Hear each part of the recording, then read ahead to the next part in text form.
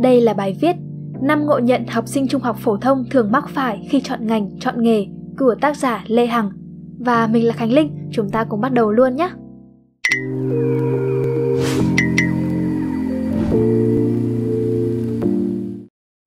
Nếu bạn mua một đôi giày và sau đó đi được 2-3 hôm, bạn thấy không thích, bạn quyết định không đi đôi giày đó nữa. Tôi đoán rằng bạn ít nhiều cảm thấy tiếc vì mình đã quyết định không hợp lý. Bây giờ mình thử làm một phép so sánh khác là nếu bạn chọn một ngành học mà sau đó bạn nhận ra ngành đó không hợp với bạn, bạn sẽ cảm thấy thế nào? Có những bạn sinh viên đã bỏ học ngay sau một kỳ học đầu tiên tại trường đại học và quyết định năm sau thì lại chọn ngành khác. Có bạn đã học tới năm thứ ba đại học, thậm chí chỉ còn một kỳ học nữa là tốt nghiệp đại học nhưng vẫn quyết định nghỉ vì quá mệt mỏi khi phải theo đuổi một thứ mà mình không thích. Cái giá phải trả cho việc chọn ngành học không phù hợp là sự chật vật trong suốt 3, 4 hay thậm chí 5 năm đại học để qua được những môn học mà mình không thích, không giỏi và tâm lý chán nản, nhiều lúc muốn buông xuôi là sự tự ti về năng lực bản thân, là những lo lắng về tương lai nghề nghiệp. Có nhiều lý do dẫn đến việc quyết định lựa chọn ngành học hay nghề không phù hợp.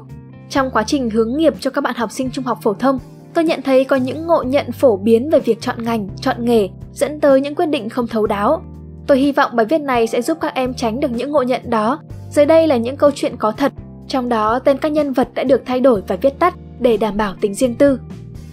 1. Chọn ngành, nghề chỉ dựa vào môn học mình đạt điểm cao ở trường. Trong 3 năm học trung học phổ thông, Quy luôn có mặt trong đội tuyển học sinh giỏi sinh của trường.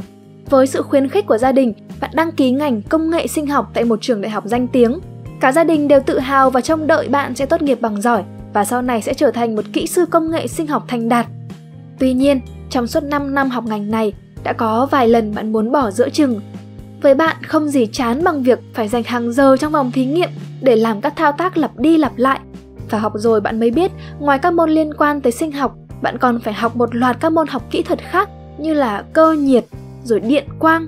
xác suất thống kê là những môn khiến bạn vật vã mới qua được. Quy đã không tìm hiểu kỹ về ngành học mà bạn muốn học để biết chương trình đào tạo ngành đó có những môn học gì và liệu bạn có hứng thú với các môn học đó không. Giờ thì Quy biết chắc chắn rằng bạn sẽ không làm công việc của một kỹ sư công nghệ sinh học vì nghề đó không phù hợp với tính cách của bạn, một người thích giao tiếp, thích thuyết phục, thích làm kinh doanh hơn là nghiên cứu khoa học. Các bạn học sinh lưu ý kiến thức ở trường phổ thông là kiến thức phổ cập, tức là ai cũng có thể học được. Còn khi vào đại học, kiến thức theo chuyên ngành là kiến thức chuyên sâu, có nghĩa là độ khó sẽ tăng lên và bạn sẽ học cả các môn khác nữa trong một chương trình học.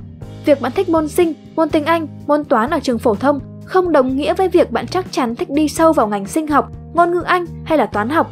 Để hiểu đúng về một ngành học, các bạn nên tìm hiểu chương trình đào tạo ngành đó có những môn học gì. Trên trang tuyển sinh số.vn hiện nay có thông tin chi tiết về hơn 181 ngành học để các bạn có thể tra cứu. 2. Chọn ngành, nghề theo số đông Trong 3 năm học cấp 3, Hát học khá đều các môn và năm nào cũng đạt học sinh giỏi. Đến khi phải chọn ngành học và trường đại học, Hát lúng túng không biết nên chọn ngành gì và sau này nên làm gì. Hát hỏi bạn bè xung quanh và thấy nhiều bạn chọn ngành tài chính ngân hàng. Thế là cậu cũng chọn ngành này. Tại thời điểm Hát thi đại học, ngành tài chính ngân hàng được coi là ngành hot. Thế nhưng sau 4 năm đại học, đến lúc cậu ra trường thì ngành này không còn hot nữa. Sau 5 tháng không xin được việc vào ngân hàng mà cậu muốn, cậu quyết định ứng tuyển công việc bên ngành truyền thông. Bây giờ thì Hát đã là cán bộ truyền thông của một tổ chức xã hội. Nếu được chọn lại, Hát cho biết là cậu sẽ chọn học ngành truyền thông vì cậu nhận ra là nghề này cho cậu phát huy khả năng ngôn ngữ. Nắm bắt được thông tin về xu hướng việc làm là một cơ sở quan trọng trong việc lựa chọn ngành học và nghề nghiệp trong tương lai. Tuy nhiên, các bạn lưu ý là xu hướng thay đổi theo thời gian, vì vậy điều quan trọng là hãy chọn nghề phù hợp với năng lực và thế mạnh của bạn. 3. Chọn một ngành nghề là gắn bó với nghề đó suốt đời. Trong một cuộc trò chuyện với một nhóm các bạn học sinh ở trường Hermann Gmeiner Hà Nội, nhiều bạn chia sẻ với tôi rằng các bạn muốn chọn nghề nào đó ổn định. Ổn định theo ý hiểu của các bạn là không phải chuyển nghề, không phải chuyển nơi làm việc. Với cách nghĩ này, các bạn sẽ loại bỏ phương án các nghề nghe có vẻ là rủi ro. Một bạn học sinh lớp 12 cho biết bạn rất thích làm phát thanh viên truyền hình, nhưng bạn không dám chọn nghề này vì bạn nghĩ nghề phát thanh viên chỉ dành cho người trẻ, cùng lắm là tới tầm 40 tuổi. Bạn sợ sau đó bạn sẽ thất nghiệp. Bạn không hề biết rằng nếu không làm phát thanh viên, bạn có thể làm biên tập viên và nếu không lên hình thì vẫn còn rất nhiều công việc phía sau máy quay liên quan tới sản xuất nội dung. Chúng ta mới bước vào cuộc cách mạng công nghiệp 4.0, nhưng những thay đổi về bản chất và cơ cấu việc làm đã và đang thay đổi với tốc độ nhanh chóng chưa từng thấy. hiện nay hầu như không còn doanh nghiệp nào ký hợp đồng lao động vô thời hạn. Nhiều cơ quan nhà nước cũng đã bãi bỏ chế độ biên chế, tức là công việc làm cho tới khi về hưu. Khái niệm ổn định về nghề nghiệp trong bối cảnh hiện nay cũng trở nên mơ hồ hơn bao giờ hết. 4. Chọn một ngành là làm một nghề. Con thích ngành tâm lý học nhưng có lẽ là con sẽ không chọn ngành này đâu. Mở cho biết, nhiều người nói với con là nghề chuyên gia tâm lý ở Việt Nam chưa phát triển. Uhm, thế ngoài việc trở thành chuyên gia tâm lý làm việc ở văn phòng tham vấn tâm lý, con có biết nếu học ngành tâm lý học, con có thể làm các nghề gì nữa không? Tôi hỏi bạn, sau khi biết rằng học tâm lý học, bạn có thể làm nhiều hơn một nghề. Cụ thể, bạn có thể làm chuyên viên tâm lý học đường, chuyên viên hướng nghiệp, nhà trị liệu bằng nghệ thuật, chuyên gia tâm lý khách hàng, vân vân. Bạn ấy đã hào hứng hơn và bắt đầu tìm hiểu nghiêm túc về ngành tâm lý học.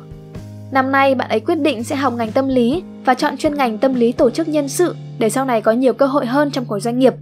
Nếu bạn quan tâm tới một ngành học, bạn nên tìm hiểu ngành đó đào tạo các chuyên ngành gì và với mỗi chuyên ngành, bạn sẽ có những cơ hội nghề nghiệp gì sau này để có thêm các lựa chọn. 5. Chọn ngành, chọn nghề theo tiêu chí sau này kiếm được nhiều tiền. Hồi tôi đăng ký thi đại học, suýt nữa thì tôi đã chọn ngành tài chính với dự định sau này làm nghề kế toán. Lúc ấy tôi suy nghĩ đơn giản là học tài chính là được làm về tiền, tức là dễ giàu. Mong muốn của tôi về nghề nghiệp tương lai chỉ là có được việc làm, có thật nhiều tiền để giúp đỡ gia đình, có tiền để mua sắm cho bản thân những thứ mình thích và đi du lịch. Sau hơn 10 năm đi làm, tôi mới nhận ra nghề mang lại cho mình nhiều tiền chưa chắc đã mang lại cho mình hạnh phúc. Mong muốn sau này kiếm được nhiều tiền là một mong muốn chính đáng, nhưng nếu bạn chỉ đặt tiêu chí đó là cao nhất mà không tính tới yếu tố ngành nghề đó có phù hợp với tính cách hay là sở thích thế mạnh của bạn hay không thì sẽ là một sai lầm đấy.